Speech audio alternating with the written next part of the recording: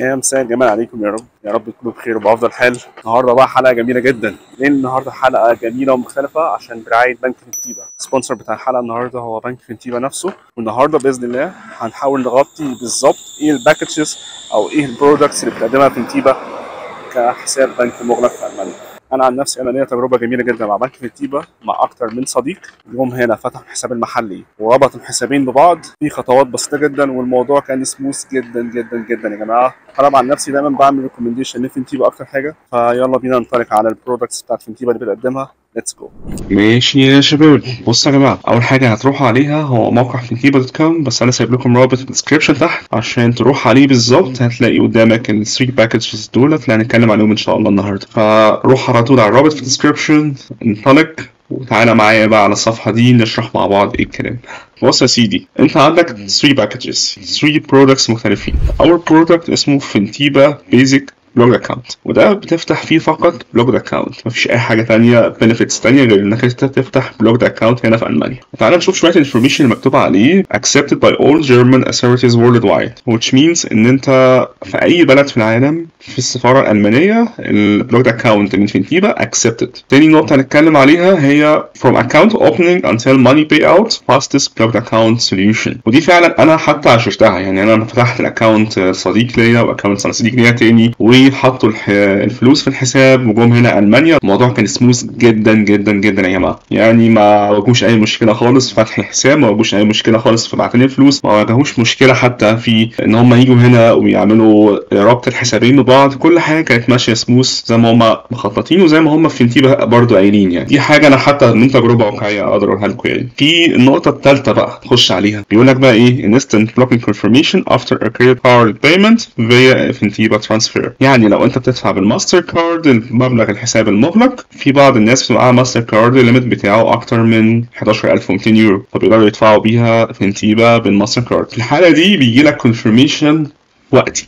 ساعتها. يعني انت بتدفع فلوس بالماستر كارد يجي لك confirmation ساعتها بفتح الحساب المغلق والفلوس تتحط جواه. فدي برضو خدمة بتقدمها فنتيبا تحت ال blocked account في فينتيبا basic product الأولاني اللي هو blocked account بس. رابع نقطة بيقول لك عليها إن ده account opening in your name. At trusted bank with German IBAN يعني بمعنى إيه؟ لما بتيجي تفتح حساب تبع فينتيبا بيفتح لك هو حساب في بنك اسمه سوتور بانك ليه IBAN وليه كل حاجة trusted جوه ألمانيا ودي برضه عشرتها طبعا high security guarantee كل حاجة بتبقى secured كل حاجة تحت اسمك. انت الشخص اللي بيقدم على الفيزا هو نفسه الشخص اللي بيفتح حساب في فينتيبا بنفس اسمه. كل حاجة بتبقى مندرجة تحت اسمه هو. الموضوع secured لغاية لما بيجي هنا بيفتح الحساب المحلي في ألمانيا ويربط حساب فينتيبا بالحساب المحلي. بيقول لك easy money access in Germany no city registration needed. ودي خاصية في فينتيبا بصراحة عشرتها عن أي بنك تاني. يعني انت لو فتحت مثلا أي بنك محلي في ألمانيا يطلب منك إنك لازم تكون معاك امندو مسجل في المدينة. فينتيبا ما بيطلبش خالص. لو انت فتحت أي حساب في ألمانيا أونلاين مثلا تربطه في فينتيبا من غير ما تحتاج إنك أنت تبقى معاك city registration من غير ما يبقى معاك أي تسجيل في السكن اللي هي المندوج. يعني مش لازم تعمل المندوج عشان تفتح فينتيبا أو تربط حسابين ببعض في ألمانيا. فينتيبا بتديك فرصة حلوة جدا إنك تفتح حساب من غير ما تحتاج حتى المندوج. والنقطة الأخيرة تحت الحساب ده إن فيها app بيوريك بالظبط step by step guide يعني بيرشدك بالظبط تعمل إيه واحدة بواحدة بواحدة. فممكن حتى تنزل ال app بتاعت فينتيبا وتشوف بالظبط الخطوات step by step جواها. تقدر إزاي تفتح حساب مغلق في ألمانيا. كل الامتيازات اللي موجودة اللي إحنا اتكلمنا عليها تحت فينتيبا basic دي برضو موجودة في ال products التانيين زي فينتيبا plus وفينتيبا plus protect دول برضو موجودين فيهم نفس ال advantages أو نفس الامتيازات. بيقول لك إن هو initial fees 89 يورو يعني بتفتح الحساب المغلق نفسه بتدفع 89 يورو فلوس فتح الحساب. وهنا لما بتيجي بقى المانيا وبتفتح الحساب بينزل لك كل شهر مبلغ معين بيتخصم منه 4.9 يورو. دول مصاريف شهرية ل Fintiba بتتاخد كل شهر لحد ما تكمل 12 شهر بتوع ال blocked account كده يعتبر غطينا إحنا أول package اللي هي بس blocked account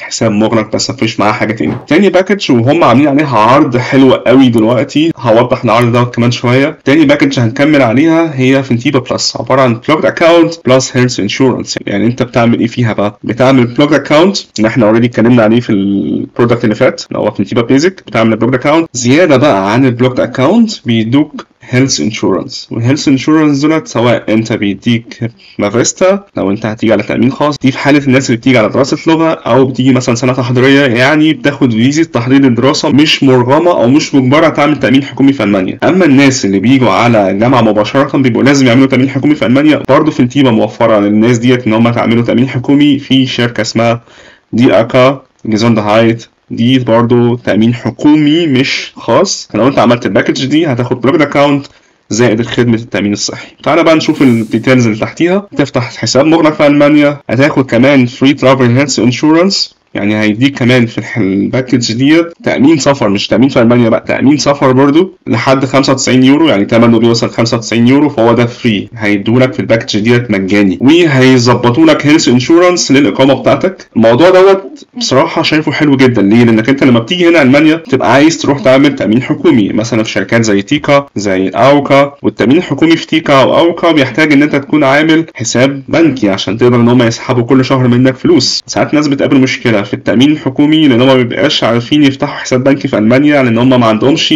Anmeldung أو تسجيل في السكن. فإنك أنت تفتح يعني تأمين حكومي مع Fintiba من أول لما تيجي دي بتختصر عليك خطوات كتيرة جدا عشان انت تاخد بقى ورق التأمين الحكومي دوت وتروح تسجل بيه في الجامعة مباشرة. مش محتاج انك انت تعمل تأمين حكومي مع TK أو AOK. فدي بس بتختصر عليك ال shortcut للموضوع دوت. إن يبقى معاك تأمين حكومي في ألمانيا من قبل حتى ما تيجي في البلد هنا. ونفس الفكرة بتاعت نقطة أربعة ديت إن أنت لو ما دفعت بالكارت هتاخد برضو ال confirmation ساعتها. في free extra benefits دي في ال package نفسها. أول نقطة free choice of current account يبقى أنت عندك الاختيار الغير محدود لل accounts اللي موجودة داخل حساب Fintiba تاني حاجة بيدوك welcome guide بيرحبوا بيك هنا في ألمانيا على سبيل المثال فدي برضو بي... بيوفرها لك. ولو أنت جاي مثلا على دراسة لغة بيديك ساعات offers عروض تاخدها عشان تروح تدرس اللغة فدي بيديها لك. برضو study guide access عشان لو أنت هتيجي تدرس بقى مباشرة بيدوك مساعدات أو إرشادات إزاي الدراسة هنا في ألمانيا عاملة إزاي. وفي طبعا Fintiba community ديت مجتمع Fintiba في بتبقى تحتيها مناقشات مهمة جدا بيديك access ليها إنك تقدر تشارك فيها في ال community بتاعت Fintiba و annual scholarship opportunity Fintiba كل سنة بتعمل scholarship أو منحه للطلبة اللي بيجي يدرسوا. ففي program ممكن تقدم عليه إنك أنت تقدم على المنحه دي لو أنت اشتركت بس في Fintiba plus. إحنا ضغطنا مثلا على scholarship opportunity هيجيب لي صفحة هنا لذيذة. هي هيقول لك إن في scholarship وممكن أنت تعمل apply عليها من ال link دوت. وكاتبين لك برضه information عنها لذيذة. وشوية أمثلة لطلاب already فازوا بال scholarship ديت وجم هنا ألمانيا وحصلوا عليها. كمان عن ال history بتاع ال scholarship في 2022 2021 و2020 و2019 من ساعة ما بدأت الحوار ال scholarship ديت.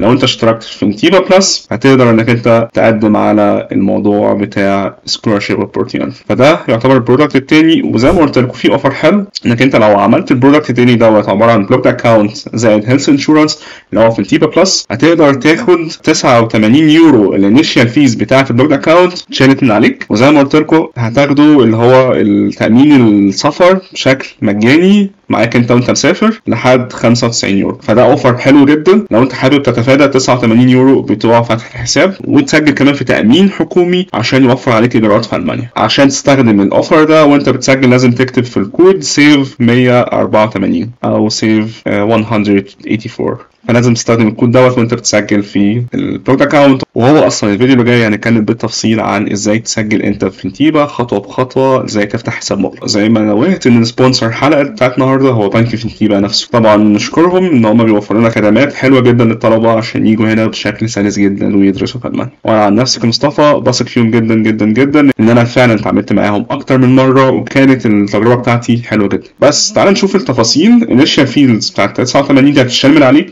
هتبقى موجودة وهتدفع بس اللي هي 4.9 كل شهر. وفي ال package ديت في health insurance مفيش ليه أي initial fees مفيش أي فلوس فتح أو تسجيل في تأمين في تأمين في ألمانيا. لكن في monthly fee تدفعها أنت كل شهر. دي طبعا packages تختلف على لو انت جاي على تأمين خاص ولا تأمين حكومي بتبدأ من 25 يورو وانت طالع. دي بالنسبة لل product التاني. معظم الطلبة اللي بيجوا يفتحوا blocked account في ألمانيا بياخدوا الجزء التاني دوت اللي هو ال product التاني دوت عشان بيبقى شامل التأمين مع ال blocked account الاثنين مع بعض. فبيأسس لهم الإجراءات صح في أول فترة مش محتاجين إن هم يعملوا حاجة غير إن هم يروحوا يسجلوا في الجامعة على طول.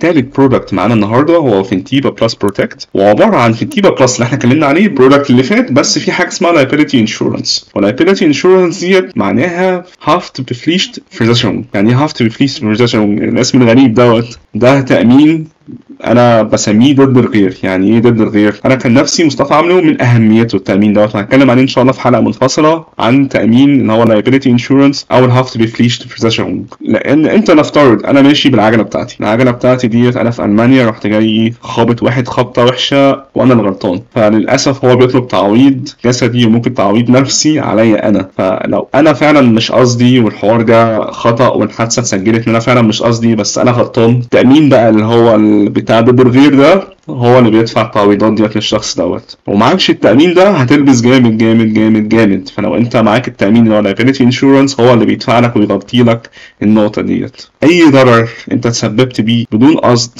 للغير ماشي بالعربية بتاعتك مثلا لا قدر الله حصل حادثة بسيطة العجلة مثلا ماشي خبطت حد والشخص ال- الضار دوت هيطلب عليك تعويض ساعتها التأمين ده بيغطي لك الجزء دوت. هو مهم جدا جدا جدا جدا جدا في وجهة نظري أنا كمصطفى يعني. ففي نفس ال benefits من واحد لأربعة بتاعة اللي هو الفنتيبا plus. يعني في الواحد أربعة ديت هي نفسها بتاعة فنتيبا plus ما اختلفتش حاجة. زيادة عليهم بس اللي هي رقم خمسة دي ال insurance اللي أنا اتكلمت عليه دلوقتي دوت. وفي كمان benefits تبع ال insurance ده. تعال نشوفه بقى هيعمل إيه. All benefits of plus packages in addition to cover against key loss. ودي نقطة مهمة جدا لأن أنا لو أنا في مبنى والمبنى دوت أنا للأسف مفاتيحه آه، نسيتها في حتة ما أو ضاعت مني. الموضوع ده مكلف جدا جدا إن هم يغيروا كل الكوالين بتاعت المبنى عشان مفاتيح المبنى ساعات بتبقى متشابهة فممكن لو حرامي معاه مفتاح واحد يفتح حاجات كتير في المبنى. فبالتالي بيغيروا كل قوانين الحاجات اللي لها علاقة بالمفتاح اللي اتسرق أو اللي ضاع. وبيغيروا كل القوانين اللي هي ليها علاقة بالمفتاح اللي ضاع منك فساعات بتلبس في رقم لذيذ بالألافات.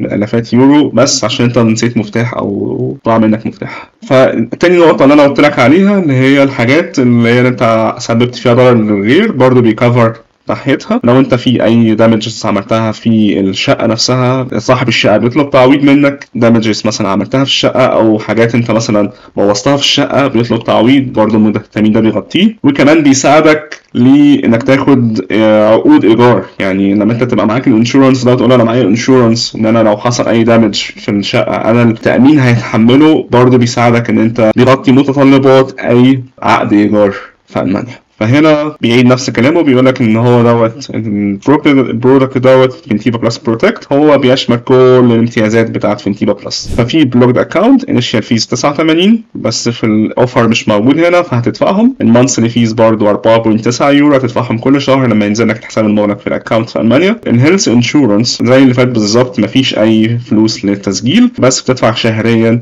بداية من 25 يورو على حسب ال package اللي لسه بتدفعها تأمين خاص أو تأمين حكومي. وآخر واحدة بيقول لك إن ال liability insurance ده annual fees 55 يورو. يعني بتدفع 55 يورو لاشتراك في التأمين دوت سنويا. يعني شوف بقى عامل 12 يعني تقريبا بتدفع أربعة ونص أو 4.6 مثلا يورو شهريا للتأمين ده بس أنا شايفه من وجهة نظري أنا نفسي عامله في ألمانيا. لا مهم جدا مهم جدا التأمين دوت عشان ما تضمنش إيه اللي ممكن يحصل لأن ساعات الواحد مثلا لا قدر الله بيبقى عامل حادثة الحادثة دي بتسبب خسائر ممكن ساعات بالآلافات وساعات بتوصل لمئات الآلاف من اليوروهات فأنت لو معكش التأمين ده أنت لبست لبسة جامدة أوي أوي أوي. فعشان كده شايفه مهم جدا جدا جدا للأشخاص والعائلات بتاعهم يعني أنت ممكن حتى تعمله للعائلة بتاعتك. هو مهم جدا يا جماعة بنوه عليه مرة تانية. بس وبكده يكون عرضنا إحنا الثلاثة packages بتوع فنتيبا. وبإذن الله زي ما قلت لكم الفيديو اللي جاي هنتكلم عن إزاي تفتح الحساب نفسه خطوة بخطوة. خشوا بقى على ال link اللي في ال description حاططه لكم وهو هيبين لكم بالظبط ال three packages دولت وتقدر تسجلوا من عليهم كمان فنتيبا بالفيديو اللي جاي بإذن الله. أتمنى فيديو النهارده يكون عجبكم